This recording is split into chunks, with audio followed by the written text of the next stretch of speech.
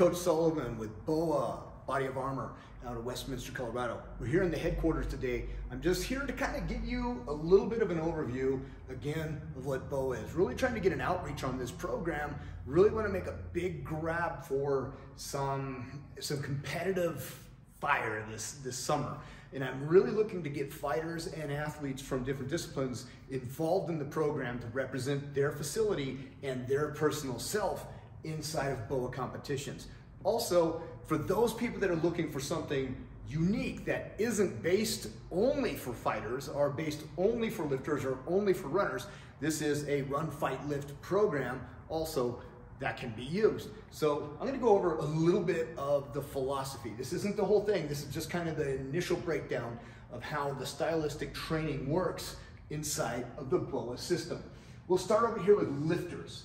So for lifters, what we have is the initial setup. We have people that are really, real Olympic lifters, power lifters, and combine lifters is what we're kind of um, talking about in this group. And we're focusing on technique, speed, and power. Now, if you're lifting only for Olympic lifting and powerlifting, you're lifting only for really those two sports, as those are respected sports in their own right. Now, we're using it mostly to come back to creating um, a, unique body of armor athletes. So we're really bringing these into a combine form to, to create this unique athlete of body of armor or a BOA athlete. Now, from lifters, let's go over to runners because we don't get a lot of cross-pollination between these people. We have ultra runners, marathon type runners, which um, ultra running is just anything longer than a marathon runners. And then I put joggers, no insult intended. Joggers um, just I'm just calling that anything less than a marathon. so you have 5Ks, half marathons, all that kind of stuff. Well, here you have your runners. And then inside of that, you have recreational runners that would be more like myself that likes to go up into the mountains and I kind of do a run walk thing. Um, and so we all have our piece that we fit. Now over here, we have kind of crossfighters. And two examples I left up here are MMA and Sambo in that. Now, over here, um, we're gonna drop right down below, we have grapplers. So right on grapplers, we have like BJJ guys, we have no-gi guys, wrestlers in judo. We kind of fit into this, this, this body for, for this purpose of definition. Now strikers, now we're running into Muay Thai guys, boxers, like hard style karate people, like Kudo karate, things like that, and kickboxing um, strikers and grapplers. Uh, these guys kind of pull away from each other, and sometimes the fighters move away from these guys. The cross fighters move away from these guys. Sometimes they cross pollinate, but I don't know that that's a majority. Um, certainly, runners are do fighters do a little cross running, but it's not often that a fight, that a runner will just fight, right? So it's the, the way these cross pollinate with each other is is very much in a minority body form.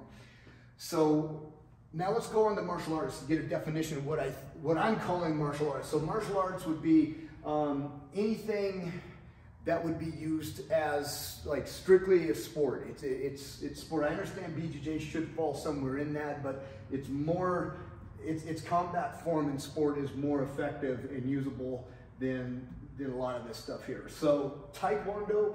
Um, commercial karate, Tai Chi, things like that. There is zero disrespect intended.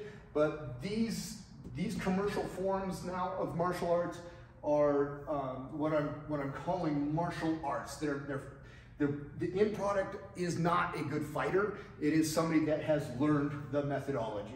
And there's a little of that goes over here into the BJJ form. I, what is a belt other than you conformed into the ideology and learned it? So um, there's a little bit goes here, but for the most part, martial artists fall here. Martial athletes kind of fall in these areas. Hopefully that explains that. Taekwondo might be a martial athlete as well. They, they tend to pretty, be in pretty good shape if they make it to the Olympic level, but uh, they're in shape only for what they do. Now, bodybuilders, bodybuilders is a peculiar sport if it is a sport at all. Um, it's, it's more of a dogma in my mind. So we have a focus on size we have a focus on image. We have a focus on um, clothing, style, and like bathroom selfies and stuff like that. So some of these people can be pretty healthy, some some are not. Um, it's this is more of an ego base thing here, and this is almost mystical here to me, almost in the, the area of mysticism. So what I'm gonna do is I'm gonna wipe this out because these, these two don't really play a role in the BOA program. So I'm sorry, no, no insult intended. Um, I just don't know what to do with them. So let, us move on to what we're doing here. So we're gonna take the combine lifting from all this stuff. We're, we're seeking technique, speed, and power. We're gonna combine it with ultra running and jogging probably. Um, marathon length running, people can do that if they'd like. Uh, we, we're looking for the benefits cardiovascularly, uh, grit-wise, and adventure of lifestyle, um, quality of lifestyle that you can get from both lifting and running. Now we're gonna mix this in with cross-fighting, grappling, and striking as well. Inside of the BOA system, depending upon where you land in these three ranks up here, so you're gonna have yourself a ludus, a gallus, Bestiarius, and then finally a Lanista. Now, these lifts are mostly gonna be inside of ludus, and runs are gonna be inside of ludus. Now, over here, we're starting to add stuff together. So we're starting to get partners that work with us. And so the fight techniques and drilling come into play in the second one. And then in the third one, we're in full application. And then in the fourth one, we're like at that professional level application. You should be absolutely fluent in all the information of these in order to be a Lanista. So you should be a coach or a competitive fighter or a black belt or somebody that can prove that they can do their job inside of the body of armor program. So what is BOA in a nutshell? It is first and foremost a fitness program that combines all this at, at one of four different levels for people to get involved with comfortably and learn more than just one of these things.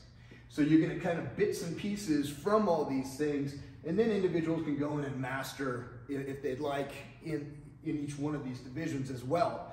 And second of all, so first of all, it's fitness, okay? So we have a fitness program. Number one, all right?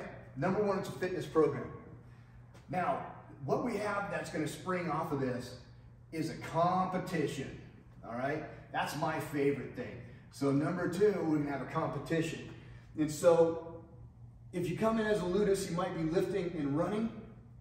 In the competition, you come in as gallus, you're lifting, running, and showing that you can do drills with a partner um, as Bestiarius, you're coming in competitively. You may actually get fights if you if you decide to go that far.